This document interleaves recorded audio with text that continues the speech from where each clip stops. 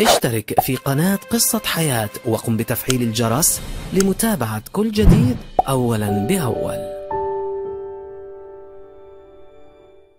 لقبت بخطافة الرجال ومفرقة الأصدقاء وهذا هو سر نحافتها المفرطة. فاتنة الشاشة التركية. عاشت علاقات غرامية متتالية جعلتها محطا لهجوم الكثيرين واتهمت بكثرة عمليات التجميل. أنتم تشاهدون قناة قصة حياة على يوتيوب. وهذه هي قصة حياة الممثلة التركية الشابة هاندا أرتشيل. ممثلة ملكة جمال وعارضة أزياء. استطاعت ومنذ أولى إطلالاتها خطف الأنظار بجمالها وقوامها الممشوق. ولدت في اليوم الرابع بعد العشرين من شهر نوفمبر من عام 1993 في باندرما في تركيا. كبرت نجمتنا إلى جانب جدتها وعمتها وهي تتبع مواليد برج القوس تنتمي لأسرة مسلمة الديانة ولها شقيقة وحيدة تدعى غمزة وهي تعمل أيضا في المجال الفني. كان والد هاندا دائما ما يحثها على الدراسة ويحلم أن يرى ابنته طبيبة إلا أن لنجمتنا رأيا آخر حيث أحبت التمثيل وعالم الشهرة منذ طفولتها وعزمت بعد انتهاء مرحلتها الثانوية على الالتحاق بجامعة معمار سنان للفنون الجميلة حيث درست الفنون التركية التقليدية وتخرجت منها. شاركت هاندا في عدة أدوار بسيطة قدمت عروضا لم تحقق فيها النجاح الذي تطمح إليه إلا أنها استطاعت أن تلفت النظر بجمالها الأخاذ وقوامها الممشوق مع طول يتجاوز المتر وخمس وسبعين سنتيمترا لتنتقل حينها إلى مجال عرض الأزياء والذي استمرت فيه مدة لا بأس بها. كان هذا المجال هو البوابة العريضة لوصولها إلى أدوار البطولة في الدراما التركية لتقدم مع بداية عام 2014 دور سيلين في مسلسل بنات شمس والذي كان بمثابة نقلة نوعية في حياتها الفنية حيث عرفت من خلاله في الوطن العربي. باتت نجمتنا حديث ال social media وانتشرت صور لها على آلاف مواقع التواصل فتغنى الناس بجمالها وملامحها الفاتنة.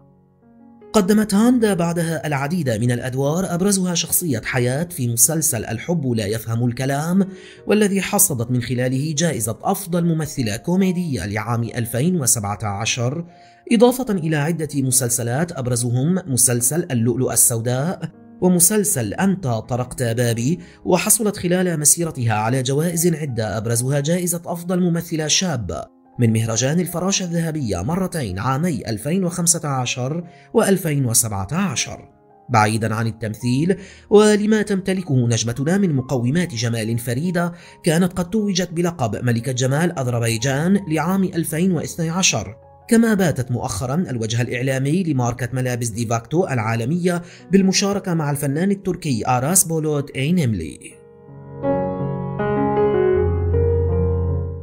شكلت قصص حب هاندا أرتشيل وجبة دسمة للجماهير والصفحات الفنية على مدار ما يزيد عن عشر سنوات لاحقتها فيها إشاعات كثيرة. كانت أولها خبر ارتباطها مع الفنان تولغا ساريتاش والذي يشاركها بطولة مسلسل بنات شمس إلا أن هاندا نفت كل تلك الإشاعات وأكدت أنهما أصدقاء فقط. أما أولى علاقات حبها فكانت مع الفنان أكين مارت دايماز وقد استمرت معه فترة باتت خلالها حديث الصحافة التركية لما شهدته علاقتهما من توالي الانفصالات والعودة لتتخذ هاندا قرار الانفصال النهائي عام 2017 لم يمضي وقت طويل لتفاجئ هاندا محبيها بدخول علاقة غرامية جديدة هذه المرة مع رجل الأعمال التركي محمد دانتشلار والذي كان صديقا مقربا من حبيبها السابق أكين مار دايماز ليبدأ حينها هجوم واسع من قبل الجماهير على هاندا متهمين إياها بأنها دخلت علاقتها تلك مع محمد بقصد التفريق بينه وبين صديقه. زادت حدة الهجوم آنذاك بعد أن صرح أكين مارت في إحدى مقابلاته أنه لا يتواصل مع صديقه محمد. لتبدأ التكهنات بأن خلافهما نشب بعد إعلان ارتباط الأخير بهاندا. قصة حبهما تلك حامت حولها إشاعات وخلافات عدة أودت بها إلى الهاوية لتعلن هاندا انفصالها عنه بعد فترة وجيزة. لعل علاقة الحب التي ربطت نجمتنا مع المغني التركي مراد دالكليتش شكلت حالة خاصة لقيت اهتماما بالغا من قبل جماهير النجمين الذين تغنوا بقصة الحب التي تجمعهما. وعلى الرغم من ذلك إلا أن علاقتهما تلك نالت نصيبها من الهجوم في بدايتها خصوصا على هاندا والتي اعتبرها البعض سببا في طلاق مراد من زوجته الممثلة ميرفي بولغور استمرت علاقة هاندا ومراد حوالي ثلاث سنوات التمس فيها الجماهير مدى تقرب الثنائي من بعضهما البعض ومع انتشار أخبار استعدادهما للزواج وتفاعل الجمهور مع تلك الخطوة أعلنت هاندا انفصالها عن مراد فجأة ومع كثرة الإشاعات عن موضوع الانفصال ما بين خيانة مراد وغيرته الزائدة على هاندا بعد انضمامها إلى مسلسل أنت أطرق بابي أوضحت إحدى الصحف التركية أن مراد اعترف لهاندا أنه يرغب بالزواج وإنجاب الأطفال. وعلى الرغم من عدم اعتراض نجمتنا على الزواج إلا أنها رفضت إنجاب أطفال حاليا وأضافت أنها لا تنوي أن تكون أما لعدة سنوات لاحقة. الأمر الذي وضعهما على حافة خلاف تطور سريعا وانتهى بالانفصال. وعلى الرغم من كثرة محاولات مراد لاحقا لإقناعها بالعودة عن قرار الانفصال إلا أنها أصرت عليه. ومع مشاركة هاندا في مسلسل أنت أطرق بابي إلى جانب الممثل كارم بورسين انتشرت أقاويل كثيرة عن وجود علاقة غرامية تربط الثنائي. الأمر الذي لم ينفيه الطرفان واستمرت علاقتهما فترة انتهت كغيرها بالانفصال دون تصريح واضح بل لجأ الثنائي إلى إنستغرام فألغى كل منهما متابعة الآخر كما قامت هاندا بحذف كل الصور المشتركة التي تجمعها معه.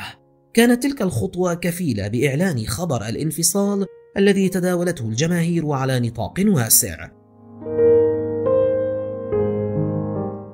هاندا كانت قد تعرضت لانتقادات كثيرة بعد حصولها على لقب أجمل امرأة في العالم. اعتبر البعض أنها لا تستحق اللقب مع كثرة عمليات التجميل التي أجرتها حيث لجأت وبحسب المصدر إلى حقن الفيلر في شفاهها وإلى إجراء عملية رفع خدود وتنعيم الفك ورفع الذقن. فيما هاجم محبو الفنانة تلك الحملة وأكدوا أن نجمتهم تتميز بملامح ناعمة منذ أول ظهور لها. وأن لا تغيير مهم طرأ عليها سوى أنها أنقصت وزنها. وفي هذا السياق كانت قد انتشرت صور عدة لهاندا مؤخرا ظهرت فيها شديدة النحافة وذكرت مصادر عدة أنها لجأت إلى ريجيم قاس لإنقاص وزنها واستطاعت أن تخسر ما يزيد عن 15 كيلوغراما.